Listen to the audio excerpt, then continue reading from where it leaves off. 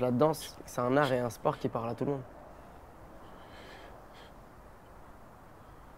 Je peux aller, je sais pas moi, au Kazakhstan, euh, faire un spectacle de danse, j'ai envie de parler de confiance en soi, ou je ne sais quoi, des relations entre les personnes. Bah juste en dansant, ils vont comprendre.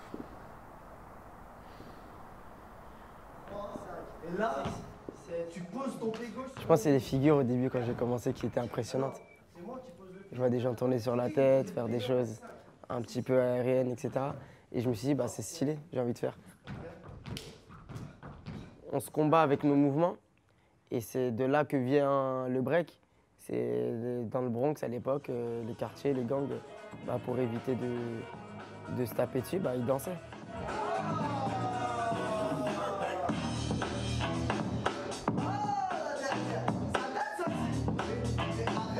En fait, a une route qui s'est tracée. C'est la route des Jeux Olympiques. La préparation. C'est ça, objectif 2024 euh, à Paris, Concorde. C'est ça, le but c'est d'être sur scène là-bas. Et, et comment faire? Du coup, on s'est rencontrés pour, euh, pour parler un petit peu de ce dont j'ai besoin. On a vite trouvé un accord sur le fait que moi je puisse venir à la MC de Ponton. Et puis, euh, et puis l'équipe elle est super cool. Donc euh, donc c'est bien de se sentir bien accueilli pour pouvoir bien s'entraîner.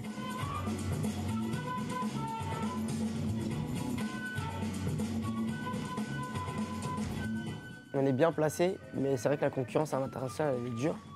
Les risques, sont impressionnants. Ils mettent le doigt de pied derrière l'oreille, euh, et ils tournent sur un doigt en même temps. Mais c'est prenable.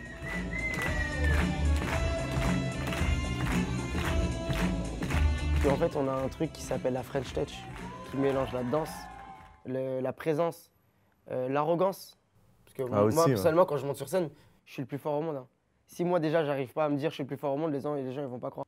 Et moi, franchement, mon rêve, hein, c'est d'arriver là-bas, prendre une médaille et de rentrer en transport avec la médaille, sous le manteau. RER Trop A, stylé. Ouais. RER A. Voilà, j'ai gagné ma médaille, mais la réalité, elle est toujours là. Tu prends le RER A, tu rentres à la maison. Ce serait magnifique. Je sais pas pourquoi, mais je rêve de faire ça.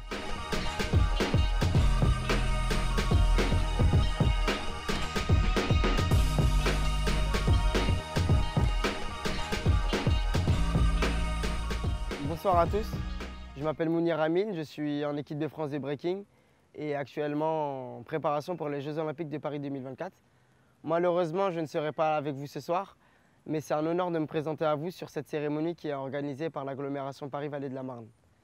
Je suis très heureux de faire partie des sportifs de haut niveau du territoire et également d'être soutenu par la ville de Ponto Combo ainsi que la MJC de Ponto Combo. Je vous souhaite une très bonne soirée.